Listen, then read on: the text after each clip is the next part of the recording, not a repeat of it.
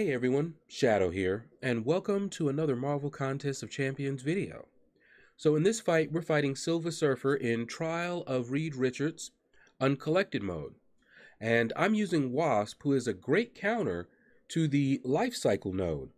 So let me explain what the Life Cycle node is. The Defender has a shield that prevents them from being knocked out.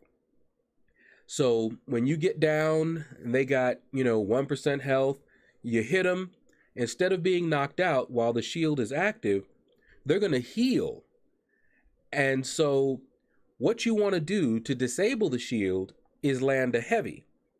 Now, the first time you land a heavy, it'll disable the shield for a certain amount of time. But each time you land a heavy, the time period where the shield is down gets longer and longer. So that makes it easier for you to be able to knock them out uh, the longer that cooldown is. So that means that champions that, you know, rely on their heavies or have strong heavy attacks work great. And because Wasp can combo into a heavy, she does extremely well. Every single combo can include a heavy attack. So when it finally gets down to the end, you're able to take them out pretty easily. Other than that, the fight is pretty straightforward. Now, this is an excerpt from my live stream. If you watched my live stream, you know that I had some trouble early on.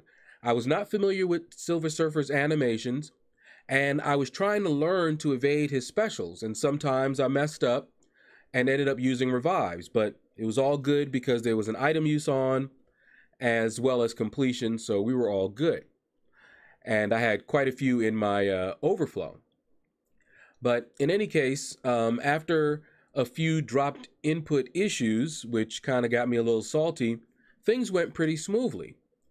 And this was definitely my best attempt during my initial clear. Now, you don't need a specific counter for him, but it does help, as I mentioned before, to have someone that has a strong heavy attack. Uh, but Ronin is a very good option. He is the cheese guy. All right. He works extremely well as long as you're not me. Uh, I don't seem to do very well with trying to cheese fights. I just don't. I don't know why. Uh, but things just happen. And a lot of the attempts that I had, I was trying to get Ronin to work. And it should have been straightforward and easy. But in my hands, not straightforward and easy. All right. So right off the bat, you saw that I revived Ronin. The first attempt went horribly. I wasn't able to make it to another special one because I fired my special one off too early. Uh, and you're going to see a couple of attempts and hopefully you'll learn from my mistakes. So you see here, I'm getting right there. I got to the special one, but now I'm not going to be able to get to another special one. All right. So one of the things that you have to bear in mind when you're using Ronin is the more buffs they have, the stronger your damage and the longer the stun duration on your special one. So you want to have many buffs on the defender. Well, in this fight, Silver Surfer gradually gets more buffs. If you stay close to him and you are aggressive, you're going to get more buffs on Silver Surfer. That way, when you fire off that special one, it'll have a long enough duration that you can keep him stun locked for the rest of the time. That is the goal.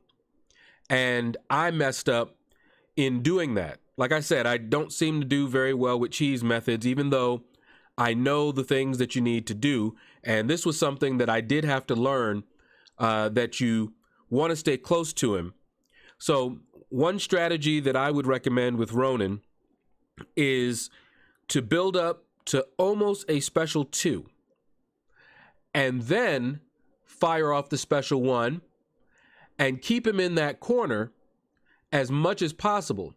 And by the time you get to your third special one, you shouldn't have any problem. So, almost to a special two, fire off the special one. That stun duration will probably not be that long, but you will have more than enough time to get to another special one. And then you should be close to him enough that he's going to have a lot of buffs. And so the stun duration will be even longer. And then you're not going to have a problem after that. So Ronin is the best, easiest option. People can do it with a three star Ronin. All right, here I am with a five star rank three Ronin. Uh, something else to keep in mind I'm running suicides. So that means that I'm taking recoil damage. So a couple of attempts, I took myself out with the recoil damage. I didn't heal up.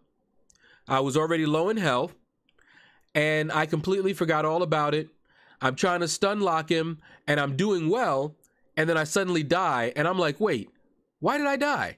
What just happened? Forgot all about the recoil damage. So that's something else to keep in mind. If you're not running suicides, you actually have an easier time. And if you are going in with, say, a three star or a four star, you don't want to run suicides if you want to use this method. Okay. Um, right there, I just backed up, I guess, a little too slowly. Uh, or I wasn't swiping fast enough. I'm not sure. Sometimes that happens, uh, especially if your timing is just a little bit off.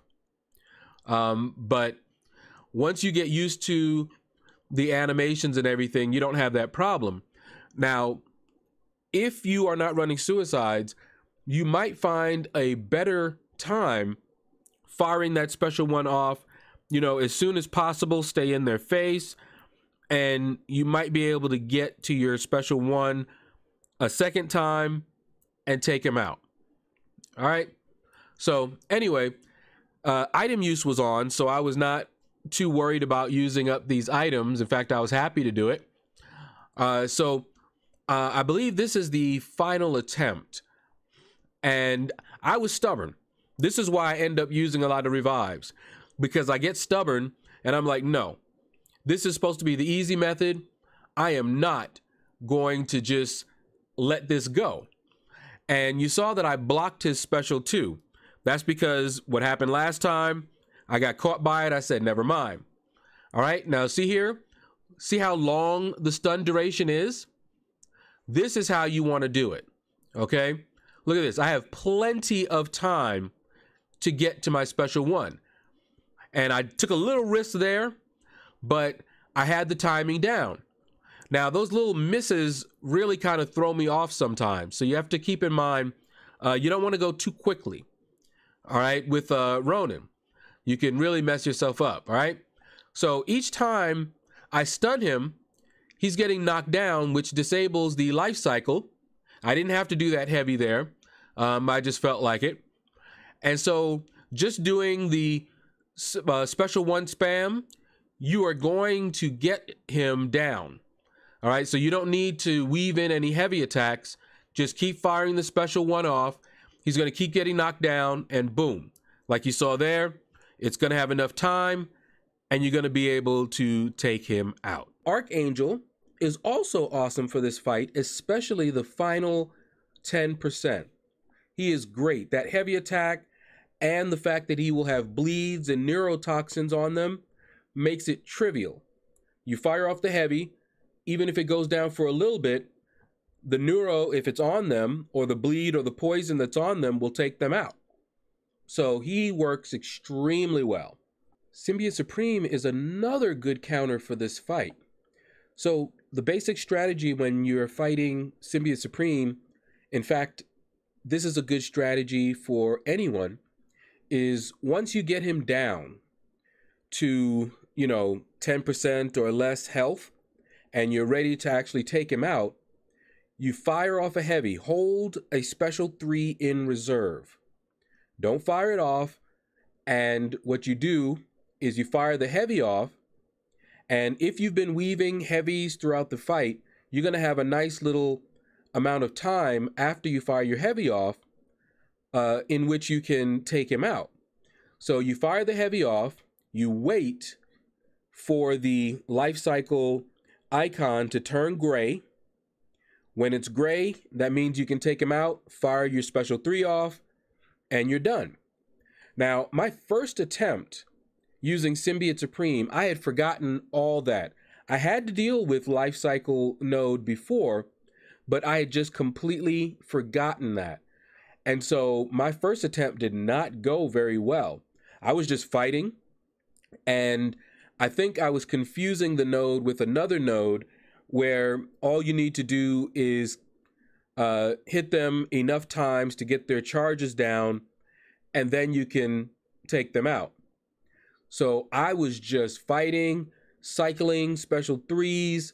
Uh, at one point in time, I ate a special three from Silver Surfer and survived because I happened to be uh, in that mode where Symbiote Supreme has his uh, armor. All right, so this is an attempt with Ghost. She is not recommended. As you saw right here, when he fired off his heavy, he put armor breaks on her. Now she can't phase. That is a big disadvantage for Ghost. You can fight and play and take him down without being able to phase. But why would you do that when there's plenty of other counters? All right, so you see here, I messed up, got hit with the heavy. He had a special three. I had armor breaks, couldn't phase. Lights out, the fight is over. There's plenty of other counters. I would not recommend going in here with Ghost. Okay? Um, I've only mentioned a few. It is not an exhaustive list, but you have Wasp, you have Archangel, you've got Ronin, and you've got Symbiote Supreme. As you saw earlier, Symbiote Supreme is an excellent counter, especially since Silver Surfer gets a lot of buffs. Symbiote Supreme can stagger, which will nullify those buffs, which will do damage, and if you're running Mystic Dispersion, you're going to be cycling special threes like crazy. It makes the fight pretty straightforward and easy. Okay? So that's going to do it, guys. Hopefully you enjoyed the video. Click like, subscribe, leave a comment. Let me know what you thought about the video. And you all have a blessed day.